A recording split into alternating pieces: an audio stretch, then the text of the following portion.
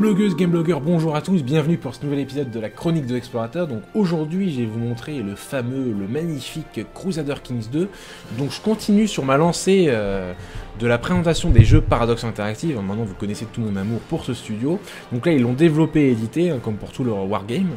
Euh, contrairement à la plupart des jeux Paradox, comme euh, ce que j'ai présenté précédemment, comme Hearts of Iron 4 ou Stellaris, c'est vrai que Crusader Kings est un peu plus difficile à appréhender. Euh, c'est pas le plus simple des jeux, mais euh, quand on a compris les bases, vous allez voir, c'est vraiment, euh, vraiment, vraiment super. Donc, je vais commencer tout de suite. Donc, jeu paradoxe oblige, on choisit sa date de départ. Donc, la date de départ du jeu Vanilla, c'est 1700, enfin, c'est 1066, pardonnez-moi, qui correspond à la grande invasion de l'Angleterre par Guillaume le Conquérant, donc son départ de Normandie pour l'Angleterre. On a aussi 867, donc là qui correspond aux grandes invasions vikings. Euh, mais moi je vais vous montrer euh, donc celle-ci qui correspond au Moyen-Âge central, qui est vraiment le plus simple pour, euh, bah, comprendre le jeu la première fois qu'on y joue. Euh, à noter que j'ai tous les DLC sauf un, euh, le DLC Charlemagne. euh, bah, J'aime pas forcément beaucoup cette époque, donc j'ai préféré m'abstenir euh, pour cet achat. Mais pour le reste, euh, j'ai vraiment tout, même ce qui est centré sur l'Inde, qui est centré sur le monde musulman, etc. J'ai vraiment tout acheté bah, pour avoir la meilleure expérience possible. À noter que le jeu est disponible, allez, pour le jeu de base pour une trentaine d'euros, avec les DLC les plus importants. Euh, vous pouvez vous le procurer euh, en solde euh, pour l'été par exemple ou pour Noël. voilà, il, moi j'ai eu 9 pour 9,99€, j'ai eu tous les DLC et le jeu de base. Donc vous voyez, voyez, je me suis vraiment pas ruiné, hein, donc je vous le conseille vraiment à ce niveau-là. Donc j'ai commencé tout de suite. Donc encore une fois, jeu de paradoxe oblige, on choisit, on personnalise sa partie et moi je vais vous montrer un peu bah, les options qui sont disponibles. On a euh, donc euh, des royaumes. Donc moi, pour au début choisir son, lieu, je vous conseille euh, commencer par un duché. C'est plus simple à gérer. Donc évidemment, hein, plus on part de bas, plus ça va être dur bah, de faire l'ascension sociale, d'avoir une ascension sociale élevée. Puisque si on commence par un compte, je ne sais pas si je prends, allez, le compte. Euh, le comte du Limousin, bah, ça va être très dur de devenir ensuite euh, bah, duc, euh, duc et ensuite devenir roi de France, etc., etc., etc. Donc moi, ce que je conseille, c'est de prendre donc le, le titre de duc et de commencer par la Normandie. Pourquoi la Normandie? Parce qu'en fait, son niveau de difficulté est basé sur 46%. On possède une armée très très puissante au début et ça va nous aider à évoluer très rapidement. Mais moi, peu importe, j'ai- fonctionné à l'affect et je vais commencer par euh, le duché de Toulouse. J'aime beaucoup la région, euh, voilà, j'aime beaucoup cette région, la région de Nîmes, etc. et de, Montpellier, donc je vais prendre cette région. Euh, j'ai commencé tout de suite. Alors, contrairement aussi à Hearts of Iron 4 et Stellaris, ici, on va être plus dans le, dans le micromanagement que dans, dans le macro. C'est-à-dire qu'on va, on va faire les choses euh, en détail. On va pas, par exemple, contrôler une grande armée. On va devoir gérer euh, les armées euh, de ses vassaux et ça va être en ça un peu plus complexe. Euh, encore une fois, euh, bah, tous les wargames de Paradox, on a euh, plusieurs modes de map. Donc moi, moi je vous conseille la map de Jure. Ça va vous permettre de voir qui sont vraiment vos, voisins de manière simple et efficace par un code couleur hein, qui est vraiment très compréhensible. Alors quand on a des gros pâtés, des gros pavés, voilà, des royaumes, et ben euh, c'est pas forcément simple pour savoir qui est son voisin, est-ce qu'il a des bonnes relations avec nous, etc., etc. Alors que là, on va mieux appréhender, appréhender la diplomatie, ça va être beaucoup plus simple. Donc je vous conseille en mode euh, duché de jure. Donc, par où commencer? Comme vous pouvez le voir, euh, on a un portrait personnage. Donc, ça, c'est le gros changement par rapport aux autres jeux, aux autres jeux Paradox. On va devoir gérer son personnage et plus précisément gérer sa famille. Pourquoi? Parce qu'en fait, ici, on ne fonctionne pas par faction, mais par famille. Le but, ça va être de faire prospérer euh, son clan euh, bah, jusqu'à la, gloire, en fait, hein, tout simplement. Donc là, euh, vous pouvez le voir, moi, je suis le duché de Toulouse, donc mon, souverain fait partie de la maison de Toulouse. Et donc cette maison, je vais devoir bah, la mener à la victoire. On a pour l'instant mon héritier qui est mon frère, Raymond de Toulouse. Donc ça c'est euh, voilà, on n'a pas forcément un fils comme héritier, on peut choisir en fait n'importe qui comme héritier. Euh, ça dépend d'une foule de choses. Par exemple, si euh, mon, mon fils me déteste, bah évidemment il va pas devenir mon héritier. Si ma fille au contraire m'adore, bah va pouvoir l'être.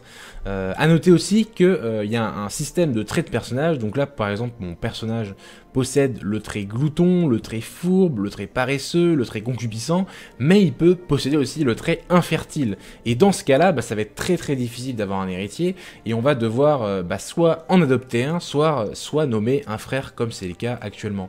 Euh, bon, là c'est un mauvais exemple parce que mon, personnage, donc le mon, duc Guilhem de Toulouse, est concupiscent, et donc pour ce fait, il est euh, il a un bonus de fertilité de plus de 20%. Donc peu importe, mais bon, c'est histoire de dire.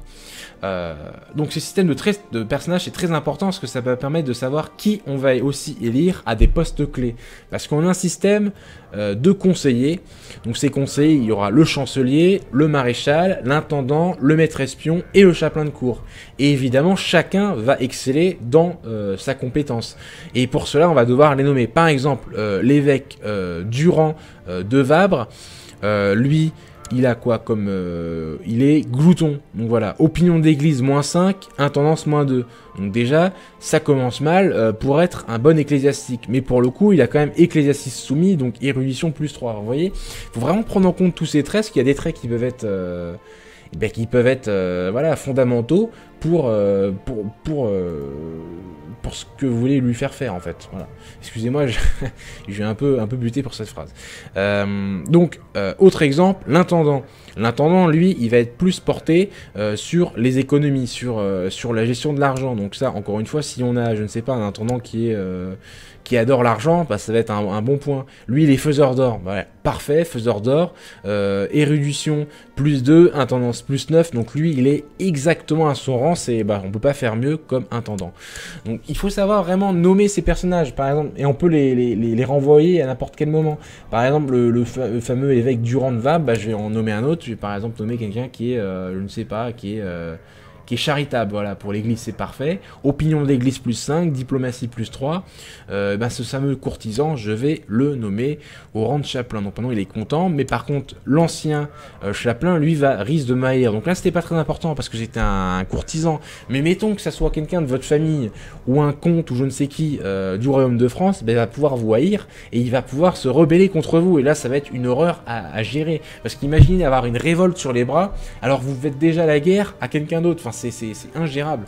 Euh, et, c'est pour ça qu'il faut faire toujours, toujours très attention euh, quand on prépare un, conflit, euh, donc que ça soit sur le territoire ou que ça soit ailleurs, dans un pays, un autre pays voisin, il faut faire toujours très attention, toujours bien se préparer diplomatiquement. Il faut toujours veiller à ce que les, les vassaux des autres pays vous, vous aiment, que le, avoir un allié sûr. Par exemple, moi, pour l'instant, j'ai pas forcément beaucoup d'alliés. J'ai, ben, j'en ai, j'en ai pas du tout en fait j'ai euh, pacte. Enfin, si, j'ai un pacte, mais j'ai pas de grosses relations. Euh...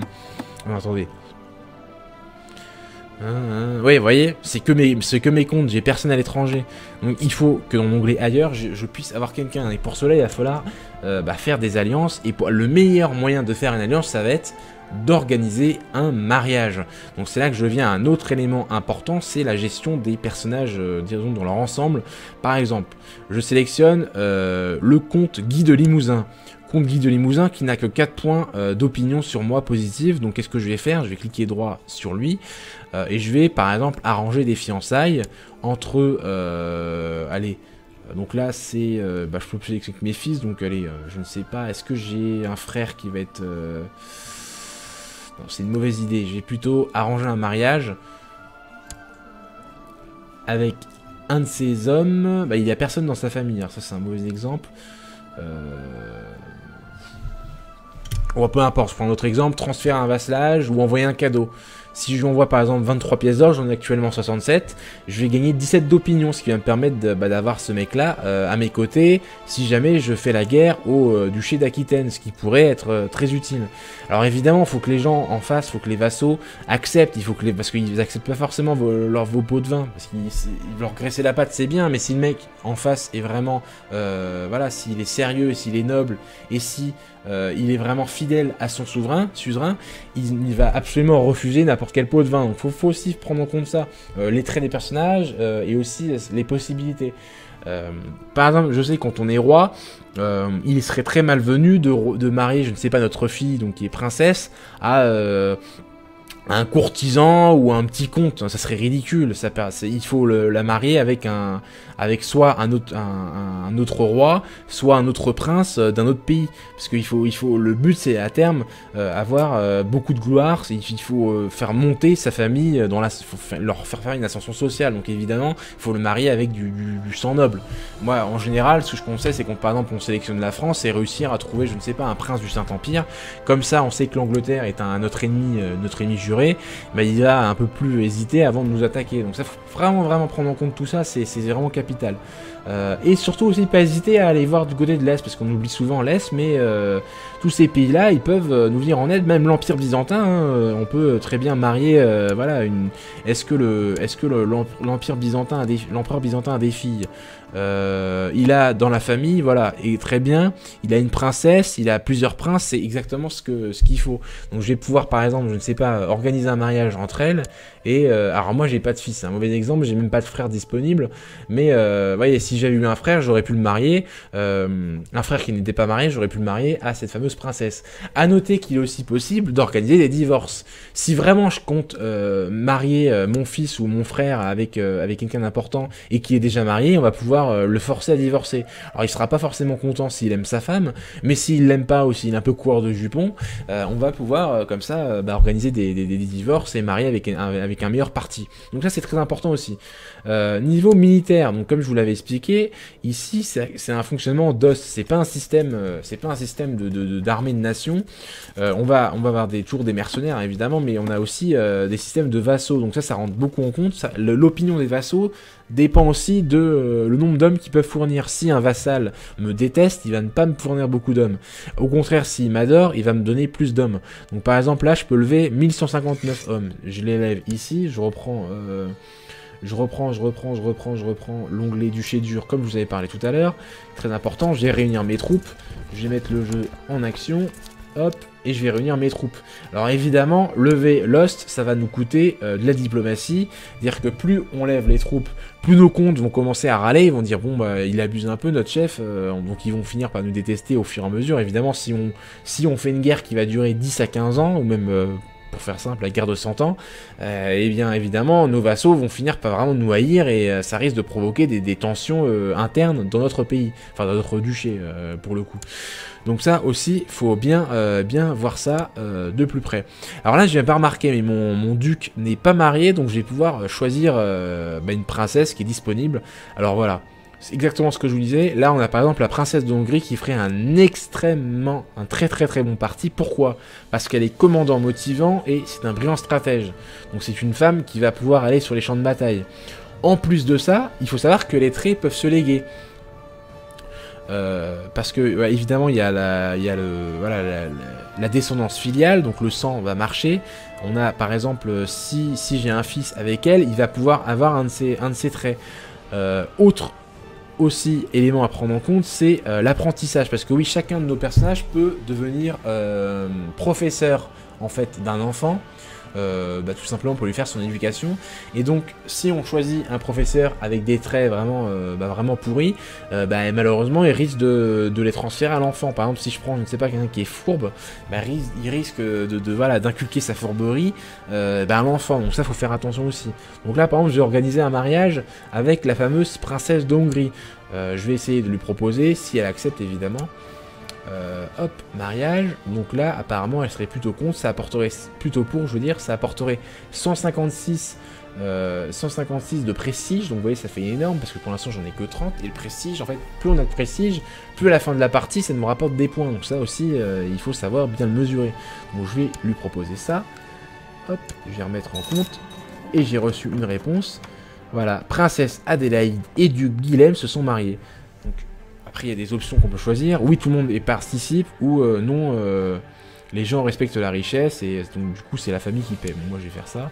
Je suis un bon souverain, je vais pas demander au peuple de payer. Donc voilà, maintenant, j'ai euh, un, un héritier. Alors, là, maintenant, si j'ai un fils, eh bien mon frère, bah, il risque de faire la gueule. Pourquoi il ferait la gueule? Bah, Parce que déjà, vous voyez, son opinion sur moi vient de baisser. Elle est passée à, elle est passée à un monstre. Pourquoi? Parce que je me suis marié et donc le mec il a peur que j'ai un héritier. Parce que j'ai un héritier, il perd son titre, il perd tout le mec. Donc euh, il, faut, vraiment... Euh, ben voilà, il faut faire. Ah bah, en parlant, il y a une guerre justement, euh, une guerre entre le Saint-Empire et ah oui, le Royaume de France. Donc là, du coup, je suis obligé de participer normalement, parce que je suis, moi, je suis moi-même vassal du Royaume de France. Donc je vais devoir lever mes troupes. Ça tombe bien, elles sont déjà levées. Donc je vais les réunir hop, fusionner les armées et je vais lancer une offensive contre euh, allez, l'impérial impérial qui est ici en Provence. Euh, donc voilà, ce que je disais, mais voilà, oui, donc faut faire attention parce que si on change souvent d'héritier, bah, euh, il peut y avoir des grosses tensions dans la famille et ça peut provoquer des problèmes. Là aussi, ça peut provoquer des guerres civiles. Euh...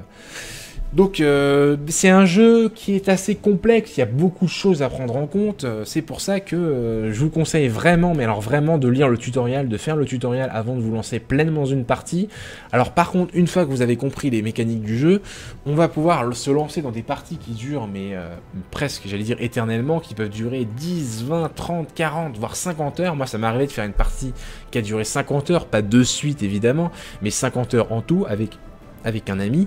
Et, euh, et c'était d'ailleurs une très bonne game. Je, me rappelle, j'avais joué euh, l'Empire byzantin et, euh, et, mon pote avait joué, lui, il avait joué le Royaume de France. c'était vraiment excellent. On avait fait plein d'alliances, euh, c'était euh, génial. À la fin, nos deux familles finalement avaient vraiment régné pratiquement sur toute l'Europe. Alors c'est pour ça que je vous conseille vraiment, euh, si vous avez un ami, en fait surtout si vous avez un ami qui est intéressé aussi par le jeu, achetez-le ensemble. Bah, c'est là vraiment qu'on prend tout, tout, toute l'importance du jeu. C'est quand on l'IA est remplacé par bah, un vrai personnage, un vrai joueur. Euh, parce que c'est vrai que l'IA, bon, elle est, intelligente, hein, l'IA, mais elle est pas non plus, euh, voilà, des fois elle fait des erreurs, elle est pas forcément très très maline euh, à certains moments. Donc voilà, si vous avez un ami qui accepte de jouer avec vous, foncez, c'est vraiment une tuerie ce jeu.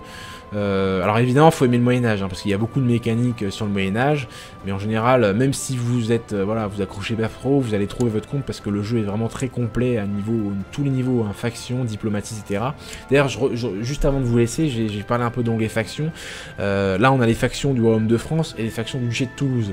Par exemple, si mon, roi de France n'aime pas du tout la manière dont je règne, me trouve pas légitime, il va pouvoir, euh, euh, bah, une, faction dans mon propre euh, dans mon propre duché et ainsi bah, créer une révolte. Moi, idem, si je n'aime pas comment le roi de France règne, si je trouve le roi de France inapte au pouvoir ou illégitime, je vais pouvoir formenter, créer une faction, je vais pouvoir faire tout de suite.